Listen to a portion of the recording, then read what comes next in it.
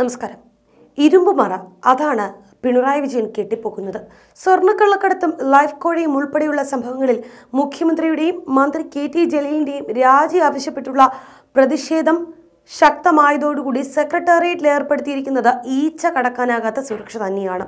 സെക്രട്ടേറിയറ്റിന്റെ പ്രവേശന കവാടങ്ങളുടെയും കോമ്പൗണ്ടിന്റെയും ചുമതല സംസ്ഥാന പോലീസിന് കീഴിലുള്ള സ്റ്റേറ്റ് ഇൻഡസ്ട്രിയൽ സെക്യൂരിറ്റി ഫോഴ്സിനാണ് ഇപ്പോൾ കൈമാറിയിട്ടുള്ളത്. ഇതോടുകൂടി അനാവശ്യ നിയന്ത്രണങ്ങൾ ജനങ്ങളെ ദുരിതത്തിലാക്കുകയാണ്. അതാണ് ഇരുമ്പുമറ മന്ത്രിമാരെയും വകുപ്പ് തലവന്മാരെയും നേരിട്ട് കണ്ട് പരാതികൾ ബോധിപ്പിക്കാനെത്തുന്ന പൊതുജനങ്ങളും വിവിധ ആവശ്യങ്ങളുമായി എത്തുന്ന മാധ്യമപ്രവർത്തകരുമെല്ലാം സുരക്ഷാ വിലക്കുകൾക്കായി നിരാശരായി മടങ്ങേണ്ട ഗതികേടിലാണ്. പ്രതിപക്ഷ സമരങ്ങളുടെ പേരിലുണ്ടായ സുരക്ഷാ പ്രശ്നങ്ങളുടെ പശ്ചാത്തലത്തിൽ സെക്രട്ടേറിയറ്റിൽ സായുധ പോലീസ് സുരക്ഷയ്ക്ക് പുറമെ നിയന്ത്രണങ്ങളും കർശനം.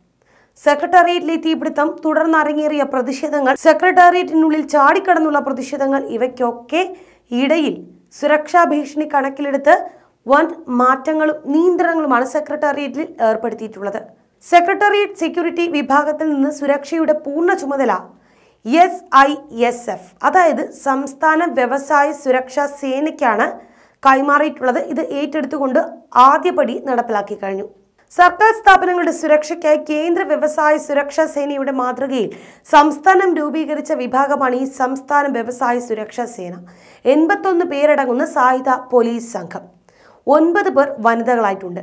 ഗേറ്റുകളിൽ സുരക്ഷയൊരുക്കിയിരുന്ന വിമുക്ത ഭടന്മാരെ സെക്രട്ടേറിയറ്റ് കെട്ടിടങ്ങൾക്കുള്ളിലെ സുരക്ഷാ ചുമതലകളിലേക്ക് മാറ്റിയിട്ടുമുണ്ട്.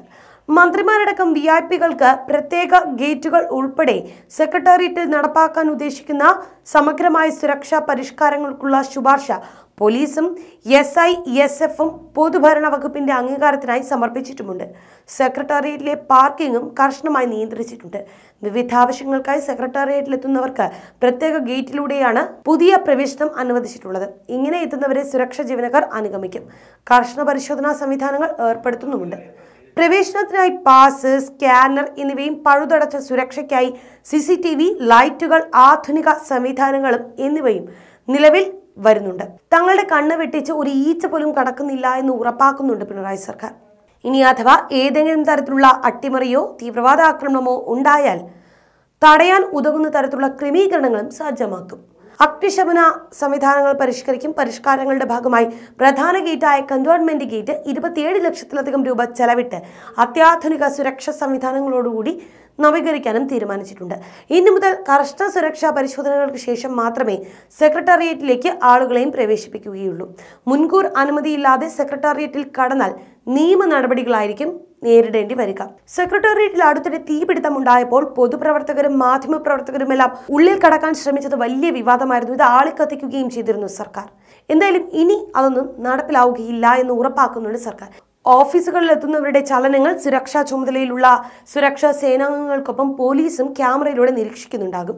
അസ്വാഭാവികമായ പെരുമാറ്റമോ പ്രവർത്തനമോ ശ്രദ്ധയിൽപ്പെട്ടാൽ അവരെ ഉടനടി കസ്റ്റഡിയിലെടുക്കുകയായിരിക്കും. ആദ്യം ചെയ്യുക പിന്നീട് നിയമ നടപടികൾക്ക് വിധേയരാക്കുകയും ചെയ്യും. മാധ്യമപ്രവർത്തകർക്കും ഇതിൽ ഇളവൊന്നുമില്ല.